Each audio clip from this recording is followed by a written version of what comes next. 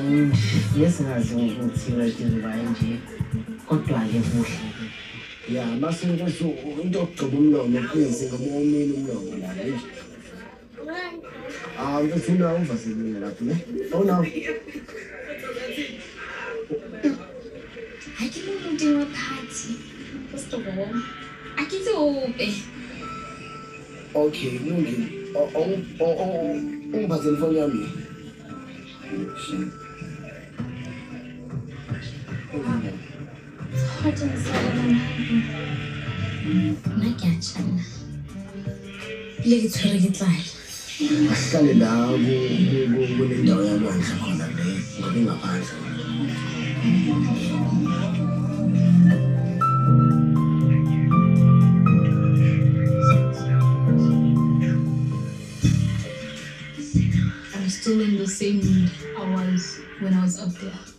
It takes time for my mood to switch. The atmosphere is not atmospheric. I think because of the altercation, this morning an altercation that happened between Slave.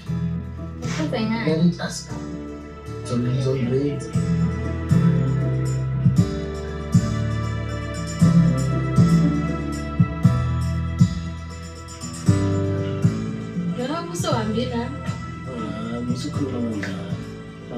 since ingane zesithembu utirelo no- nompumelelo wa- they've been giving us content. So be- they went to iphathi yaka yakalwandle ulwandle was turning 21 ulwandle umntana ka macele and umusa mkhiseleko so that means bathi yini? Umdlifa I- i'm not sure ukuthi yini but ke oh inkosana yes inkosana because uzalwa endlini enkulu and umfana ukuqala endlini enkulu. Ah, umacele anyway anganabanye abafana ngaphandle kwalwandle. So they went there um- u- umpumelelo nesithembu sakhe which is utirelo novuyokazi ne- nabanye abantu. Mabafika lapha kwaba ne-conflict as we saw. But guys I, I, i just wanna focus kutirelo novuyokazi guys do you think kodwa lesithembu sizo sizoba me- nje it make sure lesithembu anibhekile i mean i'm thanks shem.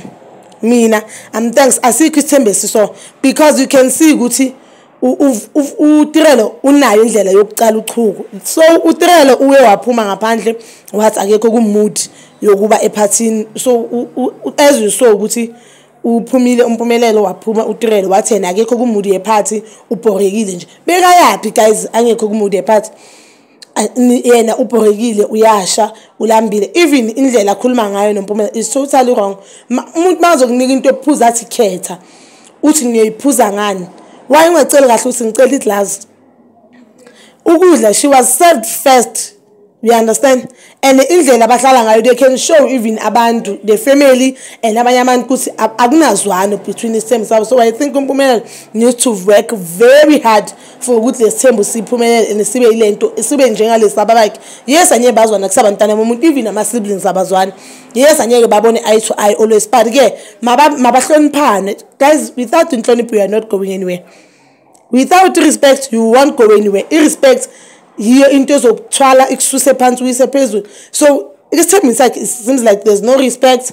You can see indlela utirelo makabheka abantu oh guys i-pregnancy.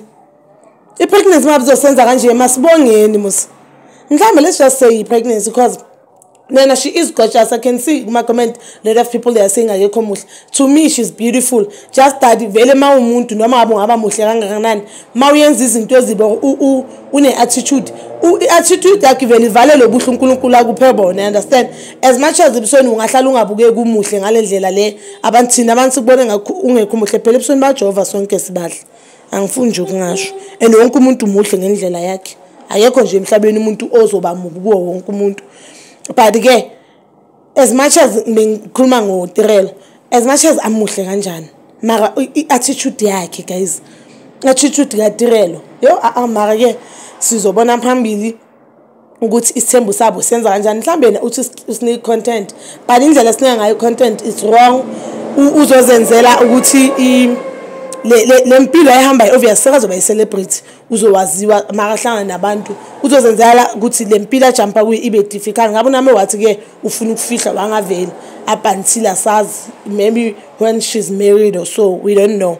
But-ke bazala bami so please comment down below what are your thoughts about this this clip from the episode? And please don't forget to like subscribe and hit that notification button.